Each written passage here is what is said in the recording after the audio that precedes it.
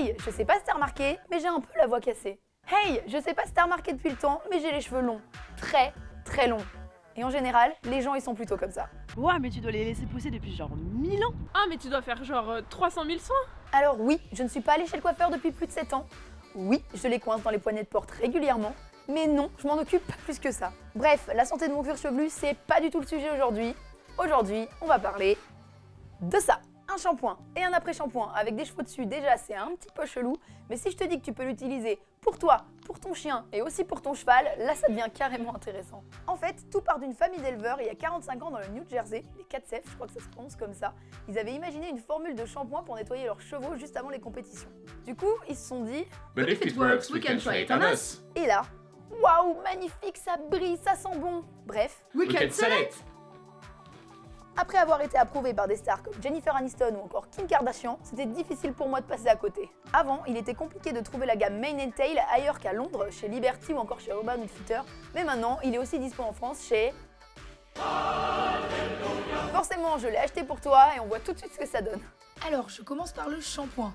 Niveau texture, il est assez particulier, un peu gluant, avec de petits paquets. La couleur est blanche et un peu nacrée. L'odeur n'est pas particulièrement marquante, donc si tu choisis ton shampoing pour la douce effluve qu'il laisse sur tes cheveux, oublie, ici ça sent simplement le propre. Il mousse bien au début, donc pas besoin d'en mettre beaucoup, par contre pas très longtemps, donc il faut être assez rapide. L'après-shampoing est plus classique, texture normale, couleur plus dorée et odeur se rapprochant du produit pour faire des bulles. Euh, je sais pas si tu vois, mais moi je vois bien l'image. On le laisse poser quelques minutes sur les longueurs, et voilà, rien de plus compliqué, c'est classique. À l'utilisation, c'est simple et efficace. On sent qu'il n'y a pas de silicone car les cheveux crissent sous les doigts. Ils sont légers et semblent très très propres. Au final, l'odeur que les produits laissent sur les cheveux est plus agréable après que pendant. Ils sont vraiment doux et assez faciles à démêler. Ils sont aussi brillants et légers, bref, efficacité validée. Et sur mon chien? Philippe adore les bains, mais pas quand ça dure trop longtemps. Tant mieux car la mousse du shampoing Mane and Tail se rince facilement. C'était la première fois que je mettais un après-shampoing sur mon chien et la différence est là. Après rinçage, on sent que le poil est plus fin, doux, bref, rien à voir, il a vraiment kiffé. On peut donc affirmer de manière exacte que ça fonctionne. Et sur les chevaux? Vu le froid polaire, j'ai simplement testé sur un petit bout de queue, mais la gamme peut être utilisée sur la robe entière. Là encore, l'après-shampoing fait des miracles, ses crins se transforment en boucles soyeuses de princesse. Sérieusement, il avait jamais été aussi doux, c'est encore validé. C'est bon, les cheveux sont propres, je vais juste attendre qu'ils sèchent un peu pour euh, voir ce que ça donne euh, le résultat final.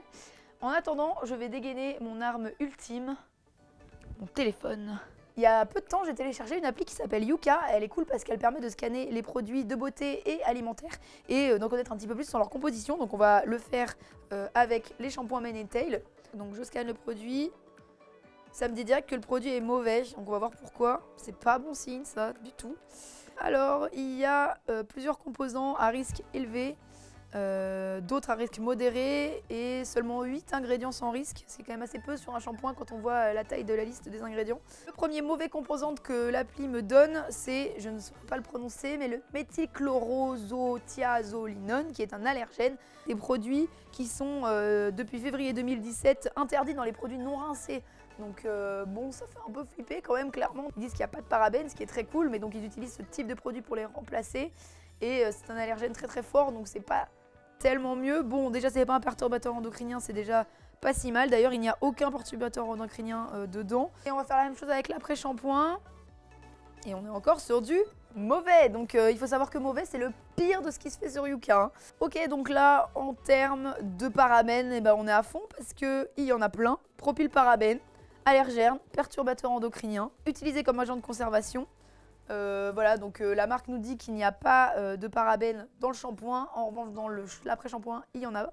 Ce qui est cool dans la composition de ce shampoing et cet après-shampoing, c'est qu'ils n'ont aucun silicone. Moi, j'utilise maintenant plus que des produits sans silicone pour mes cheveux parce que je trouve que ça se rapproche le plus du cheveu au naturel. Il y a toujours un petit temps d'adaptation où les cheveux sont un petit peu moches, mais après, vraiment, on, voit la différence. Donc, clairement, en termes de composition, on n'est pas super, super clean. Euh, donc, je suis un petit peu déçue. Voilà, tristesse. Conclusion, est-ce que je vais continuer d'utiliser les produits de la gamme and Tail? Bah, je sais pas trop. Autant les résultats sont là, oui, il est très agréable à utiliser, mais la composition m'a plutôt refroidi, surtout celle de l'après-shampoing avec plein de parabènes et des perturbateurs endocriniens, c'est vraiment pas top top. Surtout que je fais super attention de plus en plus à utiliser des produits naturels qui sont bons pour la santé. Je vais peut-être finalement laisser dans ma sellerie en attendant qu'il refasse beau pour pouvoir refaire des shampoings et des après-shampoings à mon cheval. C'est vrai que c'est assez original de pouvoir euh, faire des soins à son cheval, donc pourquoi pas, mais pour moi, je, je sais pas. Enfin, c'est vrai que. Bon. En attendant la calvitie ou de devenir réponse, c'est mieux. N'oublie pas de garder le dos droit et les talons descendus. Bye bye